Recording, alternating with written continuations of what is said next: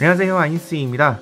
다양한 게임들이 쏟아지는 모바일 게임 시장에서는 아무래도 유사한 게임도 많이 보일 수밖에 없죠. 신작 게임이 나와도 해보기 전까지는 또 어떠한 게임인지 알아채기도 힘듭니다. 12월 월 초에 새로 나왔던 게임이 있는데요. 오늘은 이 게임을 살펴보도록 하겠습니다. 일단 이 게임에 대한 정보를 간단히 보도록 하죠. 게임 제목은 아르미아 운명의 신 장르는 방치형 urban 판타지 RPG로 되어 있고요. 5 크로스 게임즈에서 개발 및 유통을 하고 있습니다. 현재 구글 플레이 스토어 평점은 4.6에 다운로드 수는 5만 이상을 기록하고 있고요. 2021년 12월 9일 출시가 된 게임입니다.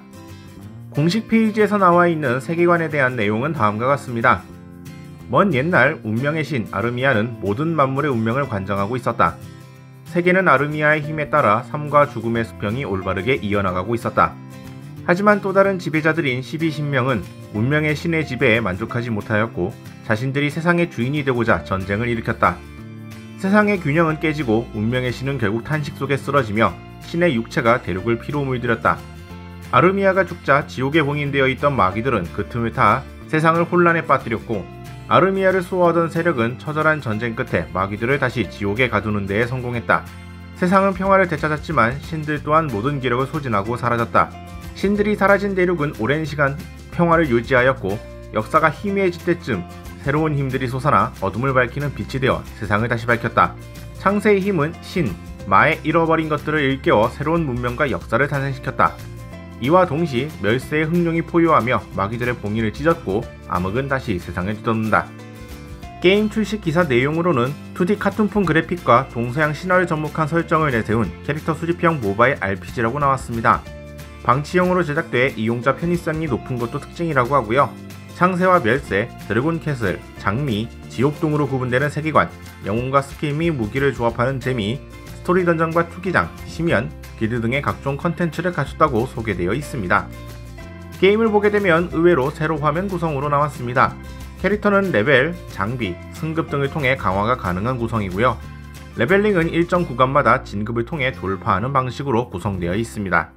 전체적인 인터페이스는 AFK 아레나를 연상시키는 형태로 나왔네요.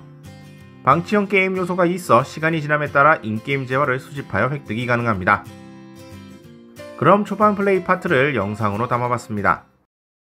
전투 파트는 최대 5명의 캐릭터를 한 파티로 구성합니다. 유저가 전투 자체를 컨트롤하는 구성은 아니고요. 자동 전투 방식입니다. 유저는 스킬 사용만 간단하게 컨트롤이 가능한 구조네요. 부서져.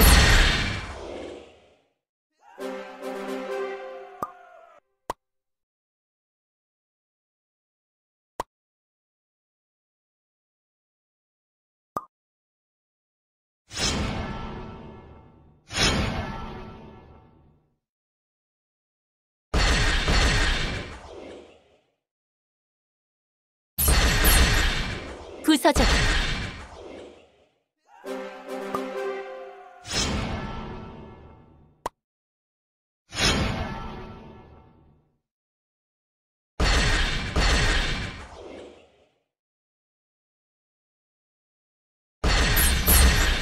서져.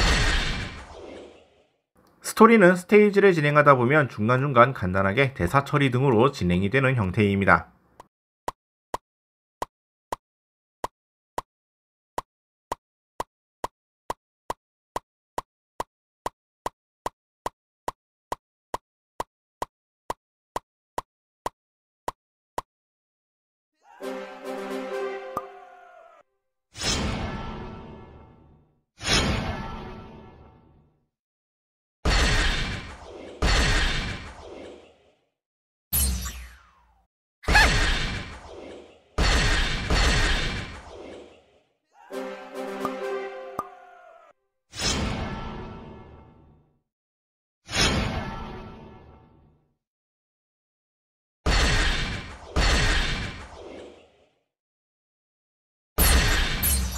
부서져.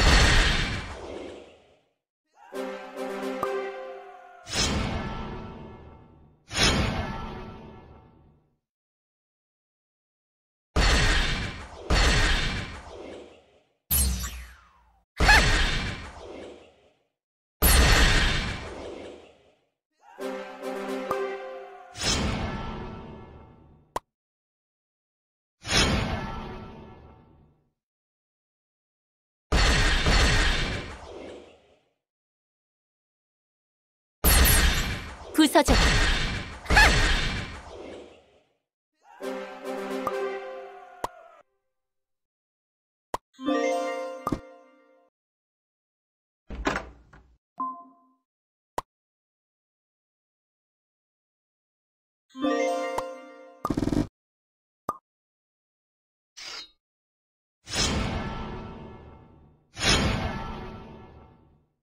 개인적으로 보는 이 게임의 장점과 단점입니다. 장점이라고 한다면 그나마 장점이라고 해줄 만한 요소는 세로 화면에 컨트롤 요소가 적어서 쉽게 플레이하기 편한 구성이라는 점이네요.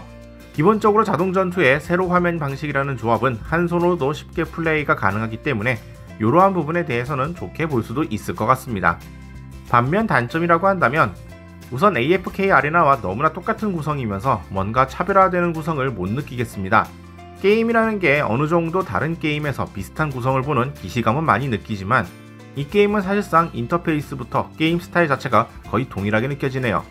전투 파트에 있어서는 타격감도 부실한 연출과 부실한 사운드 구성이 마음에 걸립니다. 특히 사운드는 BGM도 없고요. 캐릭터의 대사도 다소 힘이 빠지는 인상이네요. 스토리 파트 역시 동일하다 보니까 전체적으로 게임의 완성도에 대해 의문을 가지게 됩니다. 이 게임을 할 것인가? 당신의 선택은 신작 게임이라고 나왔으나 이미 어디서 많이 본 듯한 느낌의 게임 형태입니다. 게임의 형태가 개인적으로 만족스럽지는 않은 형태네요.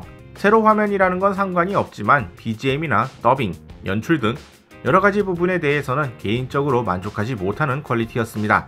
비슷한 느낌이 든다 정도면 모를까 사실상 이전에 출시되었던 AFK 아레나가 연상될 정도로 너무나 유사한 형태라서 평가는 많이 갈리지 않을까 생각합니다.